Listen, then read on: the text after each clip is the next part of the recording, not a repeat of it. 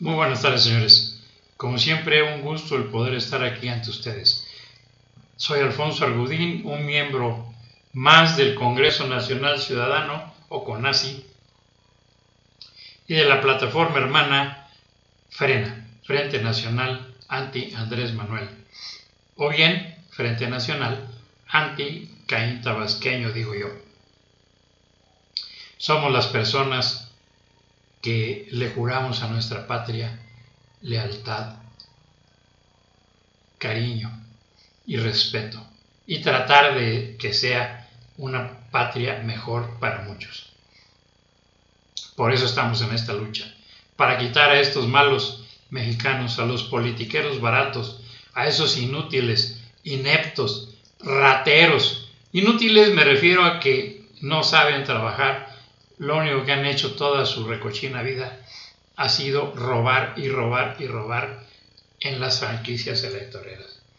Que esas hay que desaparecerlas para que ya no haya rateros como ellos en México. Esa es la idea de nosotros. Un gobierno del pueblo, por el pueblo y para el pueblo. Autogobierno en donde nosotros tengamos a nuestros representantes que sepan hacer leyes, no como los idiotas estos títeres que están en la cámara, en las sucursales del Teatro Guiñol de San Lázaro y del Teatro Guiñol, bueno, de la sucursal del Teatro Guiñol y la sucursal del Teatro Guiñol, que está en Avenida Paseo de la Reforma, esquina con París, la otra sucursal aquí en la capital de la República Bananera ya mexicana está en, Allende y Donceles y en cada capital de cada estado de esta República Bananera hay una sucursal del Teatro Guiñol. No me sé sus direcciones, pero en cada capital hay una, en donde los títeres que están allá adentro hacen lo que el gobernador de cada entidad les indica. Que indignas gentes, de veras. Todos, en México tenemos 500 en la sucursal de San Lázaro, 500, no, 128 en la sucursal de, este, de Paseo de la Reforma eh, y París, y como 60 y algo, no sé cuántos, en Allende, en la sucursal de Allende y Donceles. Eso es lo que tenemos. Eso es lo que queremos acabar.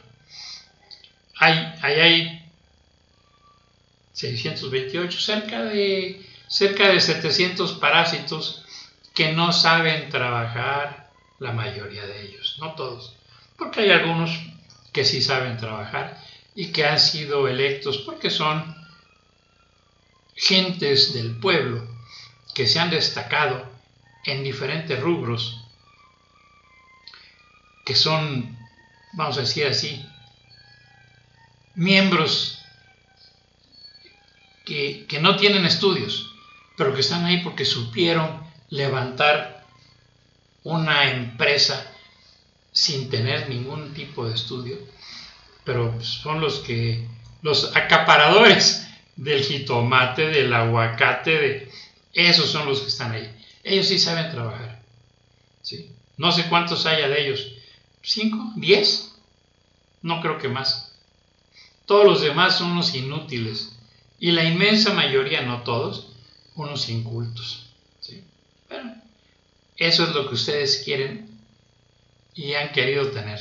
Y eso es lo que ahora nosotros tratamos de eliminar. Sacar a todos estos parásitos. No todos, estoy consciente, pero la mayoría. Mayo Delgado, Martí Batres, Ricardo Monreal, la Tatiana, al que nos pongan. ¿sí? Como decíamos nosotros, Perfidio Muñoz Ledo, un, chapulín muy, muy, muy buen orador, una gente muy culta, muy preparado, pero ha brincado de, este, ha brincado de, franquicia electorera en franquicia electorera. Empezó en el PRI y después eh, creo que se pasó al PAN o al, al PRD, al PRD y ahora andan de chapulín en morena. No, no, no, no. O sea, muy preparado. No sabe trabajar. muy buen orador, no sabe trabajar. No sabe lo que es producir algo. Gamboa Pasco, eh. Gamboa Pasco, perdón, ya se murió. Gamboa Patrón. Muy rico, sí. Pero pues, toda su vida ha estado en la ubre del gobierno y de ahí sacó su fortuna. Y como él, muchos, muchos. En fin, eso es lo que queremos ya erradicar de nuestro país. Que los que lleguen dejen de ser títeres, que lleguen gente bien, así como los señores estos que supieron hacerla como comerciantes o como profesionistas quizás. No sé, pero bueno, esas personas de valía que vengan con nosotros y sacar a las gentes como los hijitos de quién les qué quieren Miguel de la Madrid eh, Carlos Salinas eh, Carlos I el usurpador Miguel el gris el tibio de, de la Madrid Hurtado Ernesto el defraudador el al que se me ponga. Incluso eh, sabía trabajar, algo sabía hacer el Águila Mocha, Vicente el Águila Mocha, Fox Quesada. Tenía sus empresas, trabajó en la Coca-Cola, pero no era, no era un buen político, mucho menos administrador. Y todo, todo lo, lo empezó a aventar al barranco. Tuvo sus, pero tuvo un acierto nombrar a determinadas gentes en determinados puestos claves, hacienda, salud, ISTE, seguro, gente capacitada, gente que si bien iba a ir a robar algo, pero iba a crear algo. Entonces, ese fue el gran acierto que tuvo Vicente el Águila Mocha Fox Quesada. El mismo que tuvo, aunque nadó de muertito, Felipe Calderón Hinojosa el que empezó otra vez la debacle tenía que ser priista, Enrique Antonio López de Santana y Peña Nieto.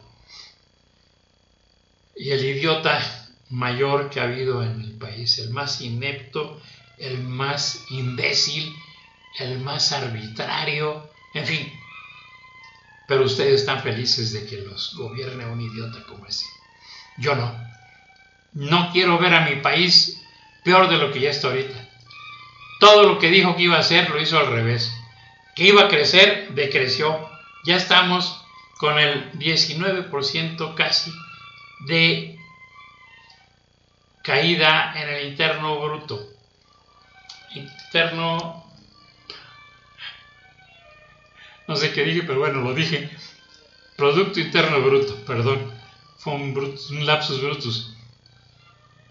Producto Interno Bruto, una caída de casi el 19%, nada más en el, en el trimestre anterior, más lo del trimestre primero de este año, más todo lo que del año pasado, más todo lo que había. Pero estos retrasados mentales, ineptos, incultos, la mayoría, ladrones apoyados en la estupidez e ineptitud y también de que es otro ladrón mayor, el Caín tabasqueño, Napito, Néstora, un par de ladrones. A Néstora la agarraron con los, con los secuestrados en su poder y la, y la sacó el Caín para que le ayude a secuestrar a más. Soltó y debe estar preso. ¿Y qué hace la Fiscalía General? Disque autónoma de autónoma no tiene nada. El viejito ese que está ahí, nonagenario yo creo, este, no lo sé, que es este Alejandro Gers Manero, pues, tipo vendido, pero vendido, es la única explicación, no sé por qué, que se vendió, bueno, fue un profesor y cuando él nos daba clases hablaba de la rectitud, de la moral, de muchas cosas buenas. Y ahora véanlo, coludido con, ladrones, tiene más de 20 razones para meter al Caín tabasqueño a la cárcel. Y no lo hace. Obvio, es su patrón. Es el que lo puso ahí, al que le debe lealtad. El pueblo y la nación de México le interesan un rábano a estos desgraciados. Y los títeres de las sucursales de, de San Lázaro y de Paseo de la Reforma y de Aldama y Donceles, muertos de la risa, los están dejando robar lo que quieren. ¿Sí? ¿Está bien? Ustedes que se dejan mexicanos, levanten la voz. Pónganse ya. Ahora sí, una insurrección, insurrección, perdón, insurrección pacífica, sin armas. La protesta civil.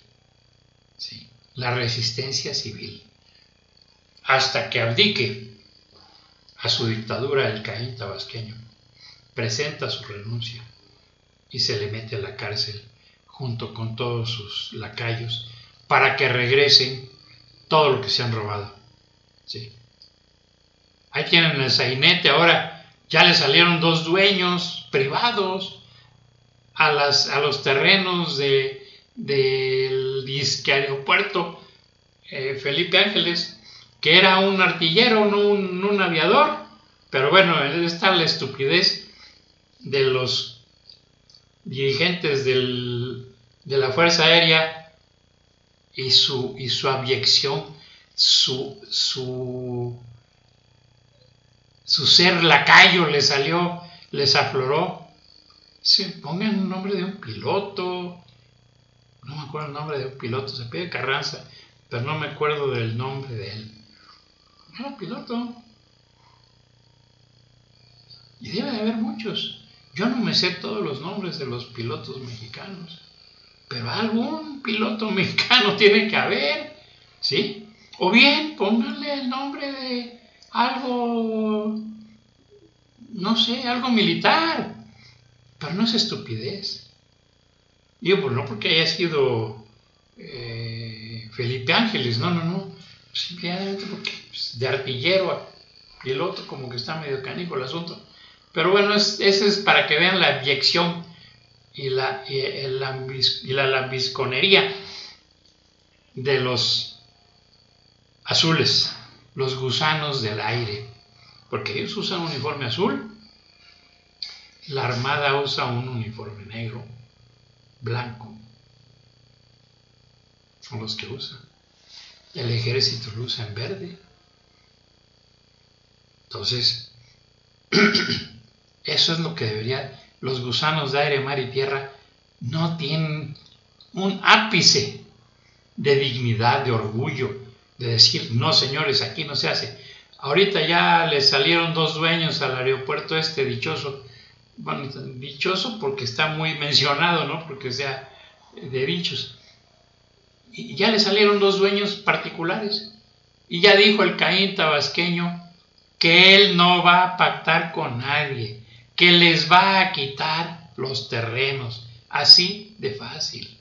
¿sí? Digo, no es que les haya dicho que se los va a quitar, no. Simple y llanamente los terrenos siguen ahí y son propiedad de la nación. Punto. A ver, ya, aléguenle al Empire para que les mande a los soldados y mate a unos 20 o 30 tipos. Eso es lo que él quiere. Que él quiere que le den la opción de mandar a matar. Porque ese es su estilo. Ese es, no su estilo, ese es su estigma, el ser asesino. Ya lleva más de 100 mil muertos. ¿Y qué hace la Procuraduría? Nada. Los asesinatos se persiguen de oficio. Lleva más de 100 mil. Entre los del COVID, más los de el este los del COVID-19 más los muertos así de que no tienen cáncer, o sea, los que tienen cáncer y que no tienen medicamentos. ¿Por qué? Porque él se está gastando la lana para dársela a, hombre, a Rocionale, ¿Para qué? Para que le dé una participación a él. A no sé cómo se llama el inútil ese que está ahí en, en Pemex para que también le dé una mochada, ¿sí? Entonces, en eso se gasta el dinero, en puras estupideces. Mientras que no se despierten los mexicanos, no van a poder salir de este hoyo y van a tener dentro de unos años a sus hijos pidiendo limosna para que les den algo de comer. Si eso quieren, allá ustedes mexicanos. Yo no. Yo por eso estoy aquí, por eso hablo y grito y digo, porque yo no quiero eso ni para mí, ni para mis hijas, ni para mis nietos, que sé que tengo dos. Ya me los saludan cuando los conozcan, yo no los, ya no los conozco. Este, hace, hace ya algunos ayeres que no sé nada de ellos. Entonces, yo soy invisible para mí, para mis hijas y sus descendientes. Entonces, así señores, mientras que ustedes no tengan el valor de ponerse de pie y decirles, ya basta, en una resistencia pacífica, en ocupar las plazas públicas, en no dejarles un 5 de impuestos ni de nada, no pagar nada para que este miserable y sus ladrones se entreguen a la justicia. A ver qué sucede. A ver quién se cansa primero. Si ustedes de ser idiotas y dejados o el Caín de abusar de ustedes. Yo creo que va a ser el Caín porque ustedes estarse hartando de pegarles y pegarles y pegarles y quitarles y robarles y que se muere y que se... Llega un momento que ya no va a tener chiste. Entonces, imaginan, ya no va a tener con quién pelear a quién decirle que el huevo y quién lo puso, aunque no sea cierto. Alguien saldrá por ahí a decir, sí señor, insúltame. Hijo, la verdad es que es triste el papel que están jugando ustedes mexicanos. Deben de, yo soy mexicano. Vacilo les digo a mis hijas que yo soy este irlandés. Yo vacilaba cuando mis hijas eran chicas. Y, este, yo les decía, yo no soy mexicano, yo soy irlandés, porque de allá era la raíz de mi abuelita materna. En fin, así las cosas. Mientras que ustedes no hagan nada para detener esto, el país se va a ir a la quilla. El país se va a ir por la borda al precipicio. Ni modo. Ustedes así lo van a querer. Me van a quedar algunos años viendo qué es lo que está pasando. Pero a ustedes les van a quedar más. Eso me va a dar gusto.